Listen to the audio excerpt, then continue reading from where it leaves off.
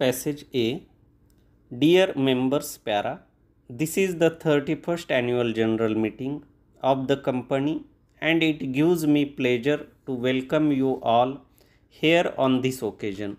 The company has had yet another successful year marked by substantial increase both in sales and profits.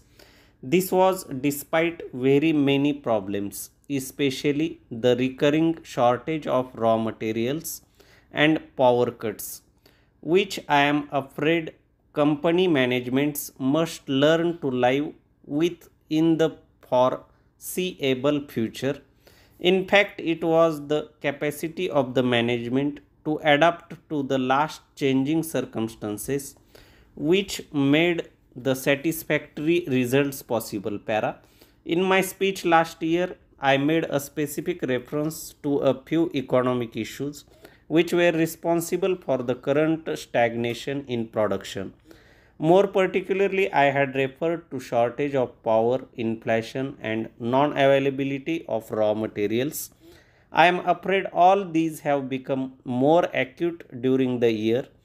Besides, there has been serious deterioration in the terms of trade as a result of extraordinarily high prices of oils and other commodities together with shortages of food and other goods.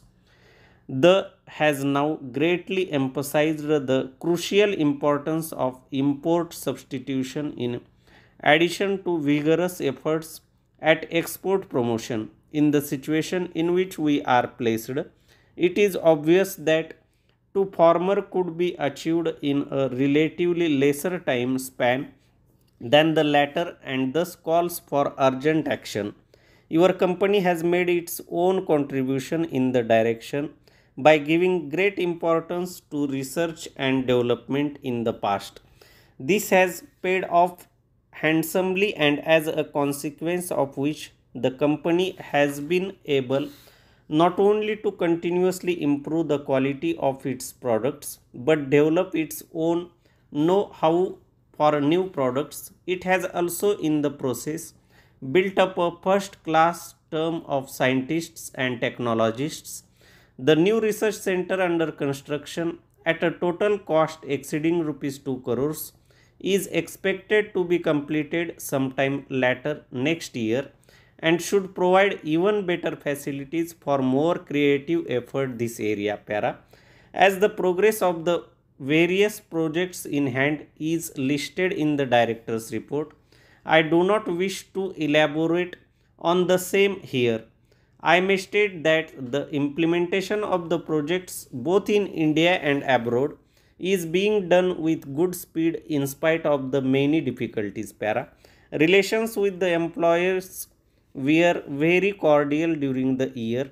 The management is fully conscious that its skilled manpower is most valuable asset and increasing attention is being paid to improve their welfare.